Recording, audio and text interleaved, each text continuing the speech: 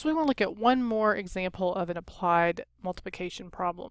So in this one, John is building this fort for his son, and he's going to use 35 bricks for the length, and he's going to use 25 bricks tall.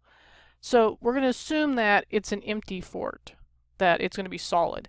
So how many bricks would there be completely if it's just a solid fort? So when I look at that, it says that we want to know how, it says how many bricks. Well, if I've got a length and I've got a height, I'm going to have to multiply those to find everything that's in between them. So I've got 35 bricks, and I'm going to multiply that by 25. When I do that, 5 times 5 is 25, carry your 2, 15 plus 2 is 17, 2 times 5 is 10, carry your 1, 3 times 2 is 6 plus 1 is 7.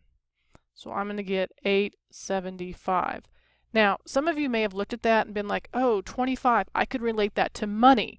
And you'd come out with $8.75, and then you have to make some adjustments. Can you do that? Sure. However it makes sense in your mind is how you want to solve this problem.